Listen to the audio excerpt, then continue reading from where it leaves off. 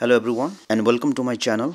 And today in this video we will see how to save the resources in our android device such as ram storage or data by closing the applications which are running in the background. If you find this video helpful please like and share this video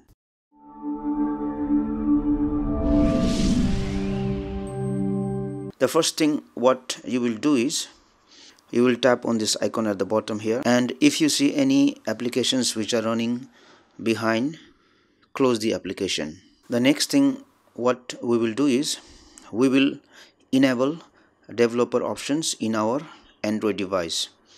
For that one we will go to settings here scroll down go to about phone. Now go to software information I have to tap on this build number for 6 to 7 times in order to activate the developer options.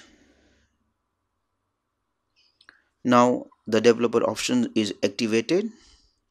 I need to go back and again go back one more time and if I go down here I can see there is developer options.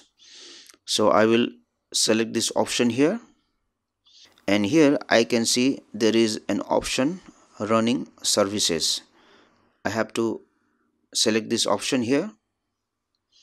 This will show me all of the applications that are currently running in my Android phone.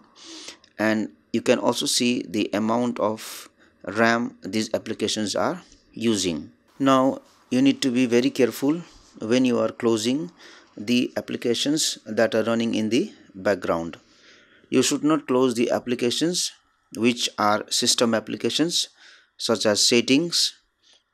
Also you should not stop those applications that starts with google like google play store google services etc if you close these background apps then your android device might crash.